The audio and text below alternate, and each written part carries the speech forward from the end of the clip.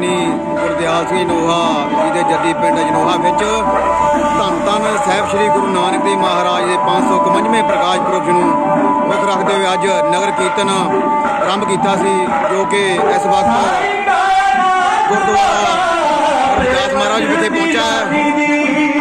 ਸਾਡੀ ਜਗ੍ਹਾ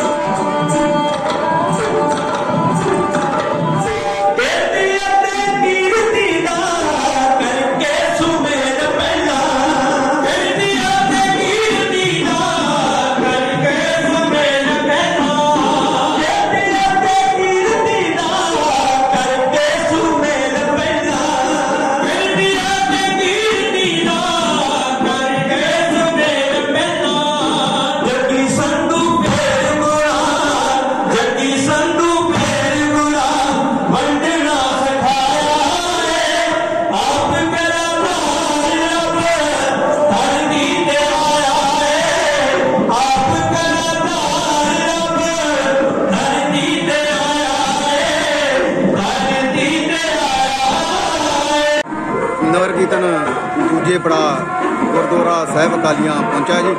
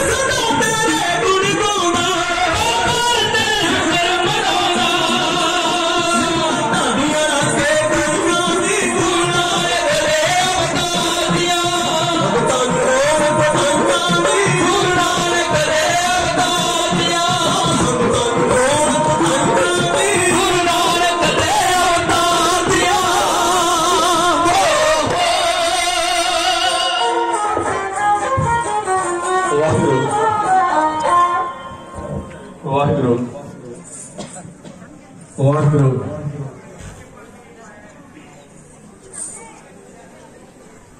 چکر چہر اور ورک جا اور پاتل ہنجے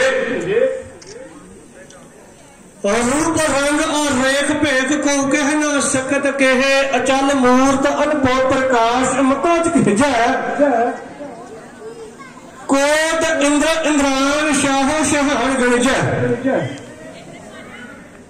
ਗਣਜੈ ਤ੍ਰਿਭਵਨ ਮੁਹੀਬ ਸਰ ਮੋਰ ਅਸਰ ਨੇਕ ਨੇਕ ਬਣ ਕਹਿ ਕਹਿ ਤੁਮ ਸਰਬ ਨਾਮ ਕਥਾ ਕਬਨ ਕੰਨ ਅੰਬਰਨ ਸੁਮਤ ਚਤਰ ਚਤਰ ਵਰਤੀ ਚਤਰ ਚਤਰ ਭੁਗਤੇ ਸੁਗੰਧਮ ਸੰਭਵ ਸਰਵਦਾ ਸਰਵਜੁਗਤੇ ਲੋਕਾਰ ਪ੍ਰਣਾਸੀ ਦੇ ਆਨੰਦ ਸਬਰੂਪੇ ਸਦਾ ਅੰਗ ਸੰਗੇ ਗੋਰੀ ਕਰਕੇ ਆਪਾਂ ਨੂੰ ਅੰਦਰ ਭੁਗਤੇ ਗੋਰੀ ਕਰਦੇ ਸਰਬ ਪੂਜੇ ਪਾਠ ਘੰਟਾ ਰੱਖਣਾ ਸੀ ਇੱਥੇ ਤੇ ਵਾਲੀ ਪਰ ਆਲਮ ਸਮਰੇ ਕਾਇਨਾਤ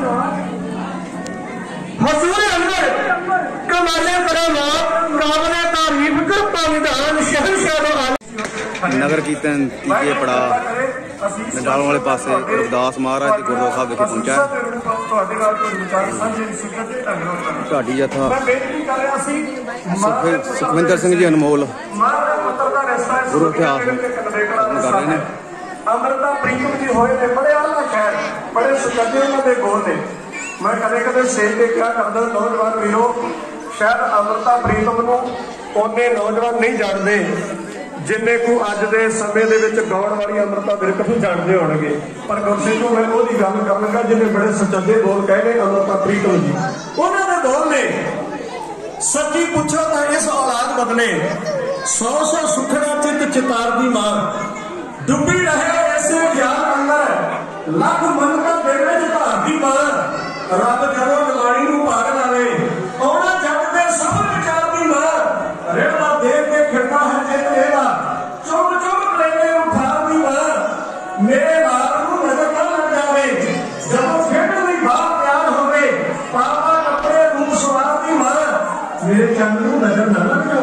ਮੇਰੇ ਨਾਲ ਨੂੰ ਨਜ਼ਰ ਨਾ ਲੱਗ ਜਾਵੇ। ਲੈ ਕੇ ਮਿਰਚਾਂ ਸਿਰ ਤੋਂ ਵਾਰ ਦੀ ਉਹ ਖੇਡਣ ਗਿਆ ਤੇ ਰਤਾ ਨੂੰ ਦੇਰ ਹੋ ਜਾਏ।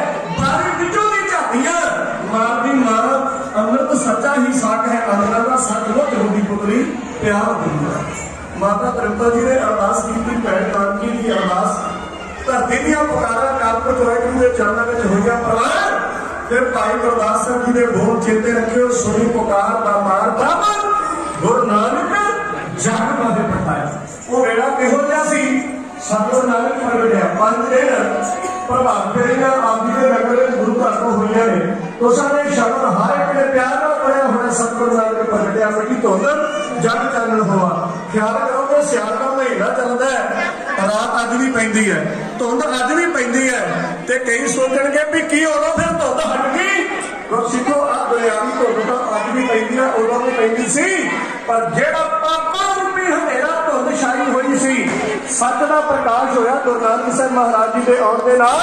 ਮਨੋ ਪਾਪਾਂ ਦਾ ਪਿਆ ਹੋਇਆ ਹਨੇਰਾ ਖੁਦ ਲਾ ਕੇ ਕਿਤੇ ਗਿਆ। ਸਤਿਗੁਰੂ ਨਾਨਕ ਪ੍ਰਗਟਿਆ, ਮਿੱਟੀ ਧੁੰਦ, ਜਗ ਚਾਨਣ ਹੋਇਆ। ਜਿਉਂ ਕਰ ਸੂਰਜ ਨਿਕਲਿਆ, ਤਾਰੇ ਛਪੇ, ਅੰਧੇਰ ਪਰੋ ਝਾਂਜਕਾਰ ਵਿਖੇ ਗੁਰੂ ਮਹਾਰਾਜ ਦੇ ਅਤੇ ਸੰਗਤਾਂ ਦੇ ਸਵਾਗਤ ਵਾਸਤੇ ਜੀ ਆਇਆਂ ਫੁੱਲਾਂ ਦੁਆਰਾ ਲਿਖਿਆ ਗਿਆ ਹੈ।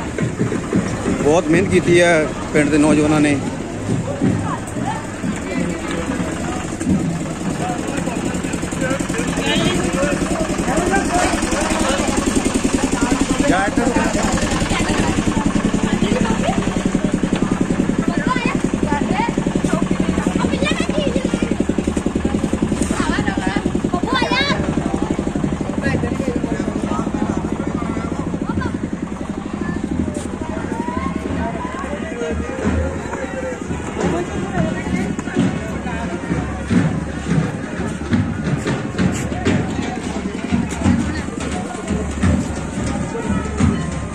ਨਗਰ ਕੀਰਤਨ ਦਾ ਚੌਥਾ ਪੜਾ ਪਿੰਡ ਦੇ ਵਿੱਚ ਜੋ ਜੰਜ ਘਰ ਵਿਖੇ ਪਹੁੰਚਾ ਇੱਥੇ ਕਿਸ਼ਨ ਸਿੰਘ ਜੀ ਕਮਲ ਢਾੜੀ ਜਥਾ ਗੁਰੂ ਇਤਿਹਾਸ ਸਰਵਣ ਕਰ ਰਹੇ ਨੇ।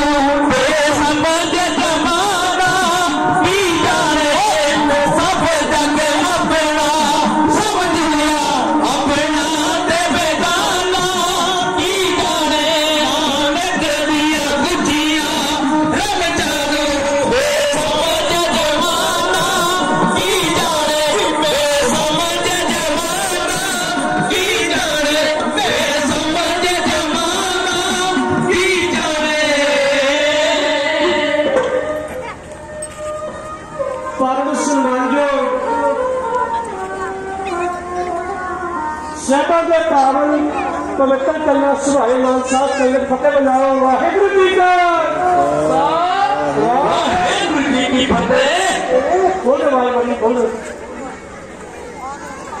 ਗੁਰੂ ਪਾਤਸ਼ਾਹ ਮਹਾਰਾਜ ਜੀ ਦੀ ਅਪਾਰ ਰਹਿਮਤ ਕਿਰਪਾ ਬਖਸ਼ੀ ਹੋਈ ਹੈ ਇਹ ਨਗਰ ਕੀਰਤਨ ਨਗਰ ਦੀ ਪ੍ਰਕਰਤਾ ਕਰਦਾ ਹੋਇਆ ਚੌਥੇ ਪੜਾਅ ਦੇ ਉੱਤੇ ਪਹੁੰਚੇ ਇਸ ਪੜਾਅ ਦੇ ਉੱਤੇ ਸਾਰੇ ਹੀ ਪ੍ਰਬੰਧਕ ਵੀਰਾਂ ਵੱਲੋਂ ਬਹੁਤ ਹੀ ਵਧੀਆ ਢੰਗ ਦੇ ਨਾਲ ਸਾਰਾ ਪ੍ਰੋਗਰਾਮ ਉਲੀਕਿਆ ਗਿਆ ਨਗਰ ਕੀਰਤਨ ਦਾ ਪੰਜਵਾਂ ਪੜਾਅ ਗਦਾਰ ਸਿੰਘ ਜਗਰਾਹ ਵਿਖੇ ਹੋਰ ਸੰਗਤਾਂ ਦੇ ਸਹਿਯੋਗ ਨਾਲ ਪਹੁੰਚਾ ਨਗਰ ਕੀਰਤਨ।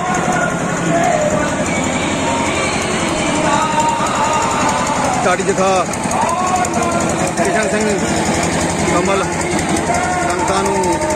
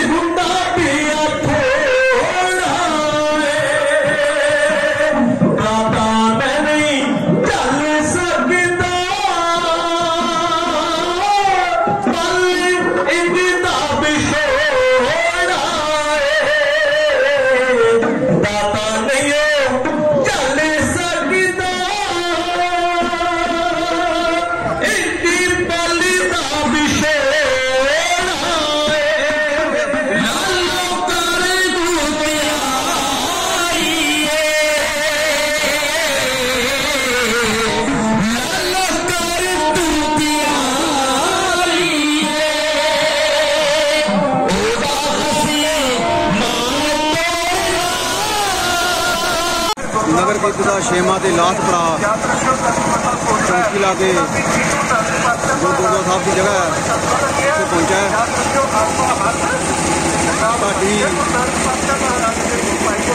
ਸੁਖਿੰਦਰ ਸਿੰਘ ਗੁਰੂ ਜਸ ਗਾਇਨ ਕਰ ਰਹੇ ਨੇ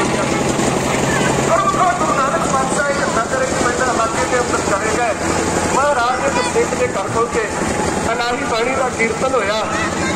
ਪਿਆਰ ਦੇ ਨਾਲ ਉਸ ਪਰਿਵਾਰ ਨੇ ਸੁਣਿਆ, ਵਕਤ ਪ੍ਰਸ਼ਾਦਾ ਛਕਣ ਦਾ ਹੋਇਆ, ਉਹ ਸਿੱਖ ਨੇ ਪ੍ਰਾਰਥਨਾ ਕੀਤੀ। ਕਹਿੰਦਾ, ਦਾਤਾ, ਸਾਡਾ ਦਿਲ ਕਰਦਾ ਹੈ ਵੀ ਆਪ ਜੀ ਜੈਸੇ ਧਰਮਾਤਮਾ ਨੂੰ ਪ੍ਰਸ਼ਾਦਾ ਛਕਾਈਏ। ਆ ਗੱਲ ਗੌਰ ਨਾਲ ਸੁਣਿਓ, ਇਹ ਗੱਲ ਫੇਰ ਸੱਚੀ ਕਿਰਤ ਦੇ ਨਾਲ ਜੁੜੇਗੀ ਵੀ ਗੁਰੂ ਨਾਨਕ ਸੱਚੇ ਪਾਤਸ਼ਾਹ ਮਹਾਰਾਜ ਕਿੰਨਾ ਕੁ ਮਾਣ ਦਿੰਦੇ ਨੇ ਕਿਰਤੀਆਂ ਨੂੰ।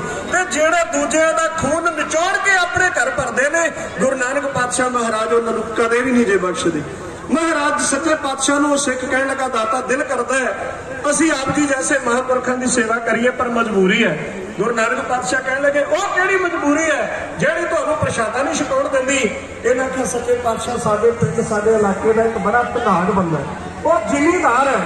ਉਹਦੇ ਕੋਲ ਜ਼ਮੀਨ ਜਾਇਦਾਦ ਹੈ। ਸੱਚੇ ਪਾਤਸ਼ਾਹ ਦਾ ਹੁਕਮ ਹੈ ਵੀ ਸਾਡੇ ਮੇਰੇ ਘਰ ਦੇ ਵਿੱਚ ਲੰਗਰ ਛਕ, ਚੱਲਦਾ ਕੋਈ ਵੀ ਸੰਤ ਮਹਾਤਮਾ ਜੋ ਵੀ ਆਵੇ ਮੇਰੇ ਘਰ ਵਿੱਚ ਤੁਸੀਂ ਲਿਆਉਣਾ, ਲੰਗਰ ਮੇਰੇ ਘਰ ਵਿੱਚ ਛਕੇਗਾ ਮਹਾਰਾਜ, ਇਸ ਕਰਕੇ ਪ੍ਰਾਰਥਨਾ ਸਾਡੀ ਮਜਬੂਰੀ ਹੈ ਖਿਮਾ ਕਰਿਓ ਤੇ ਪ੍ਰਸ਼ਾਦਾ ਤੁਹਾਨੂੰ ਉਹਦੇ ਘਰੇ ਛਕਣਾ ਪੈਣਾ, ਅਸੀਂ ਨਾਲ ਚੱਲਦੇ ਗੁਰੂ ਨਾਨਕ ਸਾਹਿਬ ਸੱਚੇ ਪਾਤਸ਼ਾਹ ਮਹਾਰਾਜ ਕਹਿਣ ਲੱਗੇ, ਚਲੋ ਉਹਦੇ ਕੋਲ ਚੱਲਦੇ ਚੱਲਦੇ ਚੱਲਦੇ ਗੁਰੂ ਨਾਨਕ ਪਾਤਸ਼ਾਹ ਮਹਾਰਾਜ ਜਿਸ ਘਰ ਵਿੱਚ ਲੰਗਰ ਚੱਲਦਾ ਸੀ, ਗਏ। ਸੱਚੇ ਪਾਤਸ਼ਾਹ ਮਹਾਰਾਜ ਜੀ ਦਾ ਬੜਾ ਸਤਿਕਾਰ ਕੀਤਾ ਕੋਲ ਬਹਿ ਗਿਆ? ਕਹਿੰਦਾ, ਮਹਾਰਾਜ, ਪ੍ਰਸ਼ਾਦਾ ਛਕੋ। ਸੱਚੇ ਪਾਤਸ਼ਾਹ ਕਹਿੰਦੇ ਜ਼ਰੂਰ ਛਕਾਂਗੇ। ਪ੍ਰਸ਼ਾਦਾ ਛਕਣ ਤੋਂ ਬਗੈਰ ਤਾਂ ਇਹ ਤਾਂ ਨਹੀਂ ਚੱਲਦਾ, ਕਿਉਂਕਿ ਲੰਗਰ ਛਕਣਾ ਨਹੀਂ ਹੈ, ਪ੍ਰਸ਼ਾਦਾ ਇਹ ਤਾਂ ਸਰੀਰ ਦਾ ਭੋਜਨ ਹੈ। ਮਹਾਰਾਜ ਸੱਚੇ ਪਾਤਸ਼ਾਹ ਦੇ ਸਾਹਮਣੇ ਲਿਆ ਕੇ ਪਕਵਾਨ ਰੱਖ ਦਿੱਤੇ, ਥਾਂ ਰੱਖ ਦਿੱਤਾ। ਤੇ ਸੱਚੇ ਪਾਤਸ਼ਾਹ ਮਹਾਰਾਜ ਨੂੰ ਕਹਿੰਦਾ, ਜੀ ਛਕੋ, ਗੁਰੂ ਨਾਨਕ ਸਾਹਿਬ ਕਹਿਣ ਲੱਗੇ, ਨਹੀਂ ਨਹੀਂ ਛਕਾਂਗੇ। ਮਹਾਰਾਜ, ਕਿਉਂ ਮੇਰੇ ਘਰੋਂ ਪ੍ਰਸ਼ਾਦਾ ਨਹੀਂ ਛਕੋਗੇ? ਸੱਚੇ ਪਾਤਸ਼ਾਹ, ਮੇਰੇ ਕੋਲ ਕੋਈ ਤਿਆਰੀ ਕਰਨ ਵਿੱਚ ਕਮੀ ਹੈ? ਮਹਾਰਾਜ ਕਹਿਣ ਲੱਗੇ, ਨਹੀਂ, ਤਿਆਰ ਬੜਾ ਚੰਗਾ ਕੀਤਾ ਹੈ। ਮਹਾਰਾਜ, ਫਿਰ ਕਾਰਨ ਕੀ ਹੈ? ਮੇਰੇ ਘਰ ਵਿੱਚ ਕੋਈ ਮਹਾਤਮਾ ਆਵੇ, ਕੋਈ ਸਾਧ ਆਵੇ, ਸੰਤ ਆਵੇ, ਜਗ ਆਵੇ, ਮੁਨੀ ਆਵੇ, ਉਹ ਮੇਰੇ ਘਰ ਵਿੱਚ ਲੰਗਰ ਛਕਦਾ, ਤੁਸੀਂ ਕਿਉਂ ਨਹੀਂ ਛਕੋਗੇ? ਮਹਾਰਾਜ ਕਹਿਣ ਲੱਗੇ, ਅਸੀਂ ਛਕਾਂਗੇ ਤਾਂ ਜ਼ਰੂਰ, ਪਰ ਤੇਰੇ ਕੋਲੋਂ ਕੁਝ ਪੁੱਛਣਾ ਚਾਹੁੰਦੇ ਆ। ਕਹਿੰਦਾ, ਸੱਚੇ ਪਾਤਸ਼ਾਹ, ਜੋ ਮਰਜ਼ੀ ਪੁੱਛੋ, ਯਾਦ ਰੱਖਿਓ। ਬੰਦਾ ਬੰਦੇ ਕੋਲੋਂ, ਬੰਦਾ ਆਪਣੇ ਪਰਿਵਾਰ ਦੇ ਕੋਲੋਂ, ਰਿਸ਼ਤੇਦਾਰਾਂ ਕੋਲੋਂ ਬੜਾ ਛੁਪਾ ਕੇ ਰੱਖਦਾ ਜੇ। ਸੰਗਤਾਂ ਦੇ ਛਕਣ ਵਾਸਤੇ ਕੇਲਿਆਂ ਦਾ ਲੰਗਰ ਵਰਤਾਇਆ ਜਾ ਰਿਹਾ। ਹੈ